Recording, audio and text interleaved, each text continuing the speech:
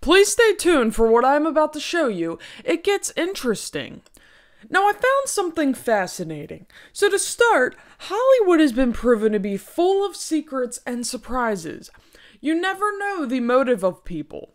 With that said, I think that people who cast Amber may possibly know exactly what they're doing. Now, again, please stay tuned through this whole video to listen to the incredible unraveling. So, to start, Amber Heard played a very mentally ill character in a movie called The Ward, which was directed by John Carpenter. And this movie came out in 2011. Now, this movie takes place in a mental asylum where Amber's character is far from sane. Now, again, hold on to that thought and be sure to remember it because it gets better. Now, before the movie The Ward, Amber was in the movie titled Never Back Down, which came out in 2008. Amber is seen in an interview behaving a bit off the charts for the press for this movie. You know, it's it's so important. Um, hold on one second. No problem. Uh, Courtney, I can't. I, I really. I can't do this if people are coming in and out of the door. It's really distracting. Okay. Extremely. I'll tell Megan. Thank you. Do you want to start it? We'll start again? Yes, that would be Oh, great. I'm okay. sorry. I keep like. No, that's you know, okay. I not- know.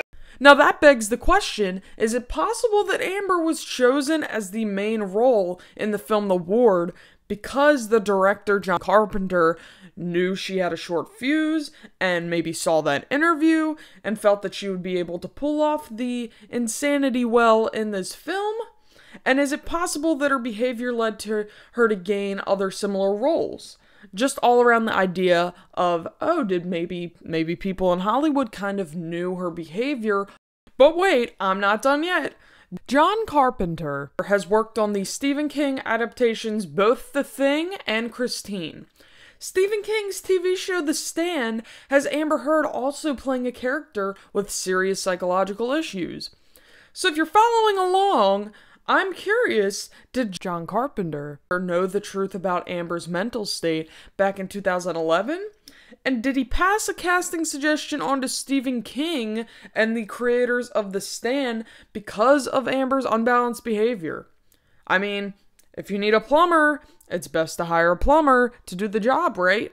So maybe these people thought, well, if you have an unstable character, you might as well use an unstable actress. So, in the end, the theory I am proposing is this.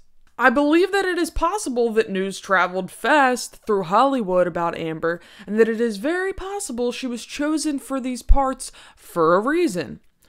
Again, I know this is a theory, but I did just give several reasons why it may be true, and I will throw those links down below.